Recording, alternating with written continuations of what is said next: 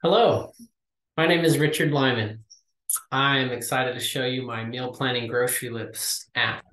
It is called Cibus Planning. Cibus means food in Latin. How did I get into coding?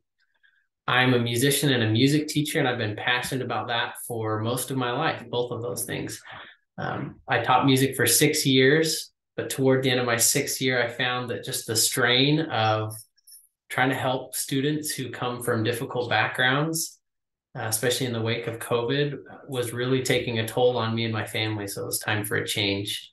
Uh, so as I started looking elsewhere, I saw a post on LinkedIn from a friend of mine who I studied music in college with um, about hire his company was hiring software engineers. So I thought, wait a minute, how are you a software engineer? you studied music in college with me and you weren't doing coding. I'm sure of that. Uh, so I messaged him and I learned that he did a boot camp. He worked really hard at that and then found a job about two months later as a software engineer. Uh, so inspired by his courage, I, I did the same. I, I tried out coding for a little bit and found I immediately enjoyed the critical thinking, the problem solving, and the detail orientation. Um, I found almost immediately that the problem solving skills I developed as a teacher and the detail orientation that I developed as a musician channeled beautifully into software engineering uh, and coding. So I'm I'm really enjoying this journey that I'm on right now. I have since landed a job as a quality assurance engineer for a software company, and I hope one day to write software for either that company or another one. The story for this app was simple. Uh, my wife and I have been married for seven years and early on in our marriage, we often found ourselves arguing about whether or not it was worth it to go to the grocery store to get a certain ingredient so that we could make the meal. I usually would say, "Oh, let's let's just make pizza with cheddar cheese instead of mozzarella. It's okay, it'll work." And my wife would say, "No, we need to go to the store." And so we'd fight about that. Somebody suggested we start planning our meals and immediately we knew that that was going to work better for us. So we we've since done that, but it does take some time. It takes my wife or I, depending, around an hour and a half to plan all the meals for two weeks. And so I wanted to write an app that could make it so that you could plan all the meals and then have a grocery list ready to go in maybe 10 or 15 minutes. So that's that's what I'm shooting for with this. The technologies that I used are HTML, CSS, JavaScript, React.js, React Router DOM package, Python, Django REST framework, Django, Postman, MySQL, Miro, which is an entity relationship diagram software, and then of course lots of Googling. um, so now I'd like to show you my app. So this is this is kind of the home page. So if you uh, you can of course register as a new user. Um, I'll just log in with the account I've already created. So you'll notice as a new user, if you log in, this is the page you'll see. There won't be any meals there. So they'll have a little bit of instructions. They can either go to all meals or they can create their own meals. So I'll show you all meals right here. Um, so here's all the different meals that anybody has contributed. So anybody that uses the app can contribute meals to this list. Um, and so we see information about that meal. This plus sign makes it so I can add that. So this is now, pancakes is now on my meal schedule. Um, so I could add several of these, which is why uh, you could have your list of meals done in maybe 10 or 15 minutes. So there's there's about two weeks worth of meals.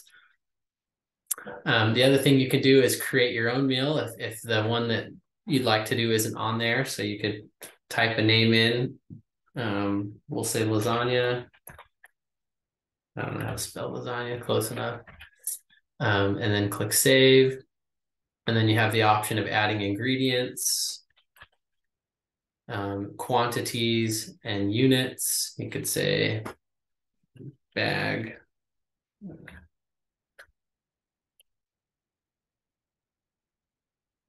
And then you've got your 16 ounce bag of pasta. You could add some notes if you want. You can add a URL to the recipe.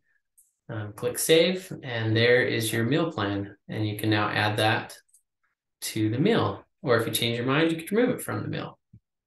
So that would uh, get you where you need to go. Recipe link if you need it. Um, if you decide later on that you need to edit that meal, then you would go to the My Meals app, and this is all the meals that the you as a user have created. So you can come back in and edit those meals if you need to, and you can always do that. Um, once you've got your meal plan created, you can then jump over to your grocery list um, that's already been pre-populated with all the ingredients, uh, with the duplicates are already eliminated. Um, so if all you want is a list of ingredients, you've got that right there. Um, and a checklist if you decide you actually want to use the app at the store or something. You can also sort it with meals, um, number of meals, quantities, or everything. Um, once you have that list, then depending on how you want to do it, you could then copy it to your clipboard. So I think I just want quantities and I will copy this now to my clipboard. I can see that's what I just got on my clipboard. Um, there's a lot of places you could put this. Here's one example. I could put it in here, paste right here. Oh, that's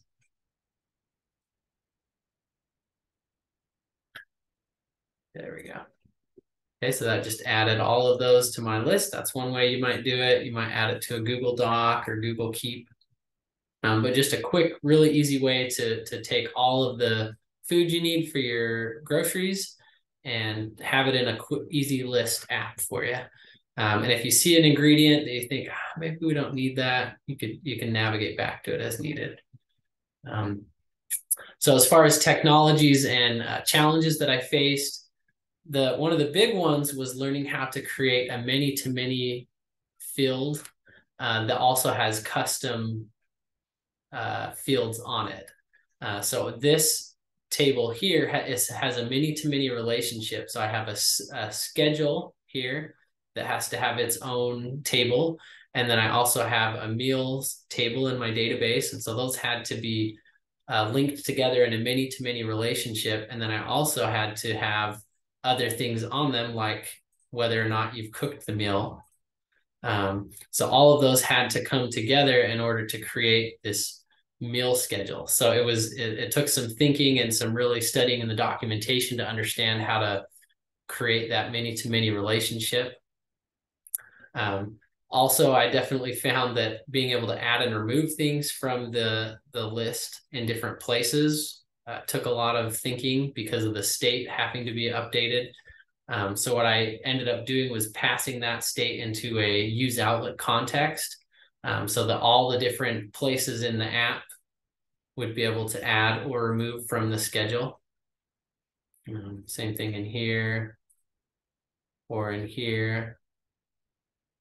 Um, so that was that was a really cool challenge. And then one of the other big challenges was taking all this information and putting it into a grocery list. So I had to create a custom Django query um, where I had to start with the schedule ID and then get all of the meals associated with that schedule ID and then grab all of the ingredients associated with the meals on that schedule ID.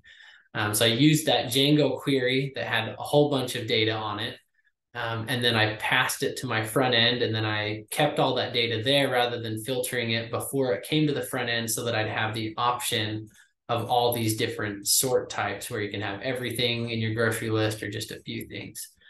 Um, future generations of this project, I definitely would like to see this become mobile friendly.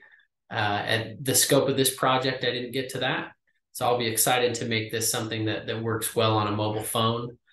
Um, I'd also next big thing would be to add the opportunity, the ability to like uh, meals on here and then search and filter so that you can quickly find the meals that you want and then add them to your list. Um, and then lastly, I'd like to be able to uh, sort these, change the order here. So if I wanted to move this meal down, I could move it down or up and then I could add it, say this, I want to have this meal on Monday and it's dinner. And so be able to add a day and a meal type and be able to change the order. Um, so that's something I'd like to work on for future generations. So I'm really grateful for all I've learned. I'm super proud of um, what I what I've become and as a as a programmer, and I'm grateful for Dev Code Camp and all they've done to help me. And I appreciate your time watching this video. Again, my name is Richard Lyman. Thanks for your time.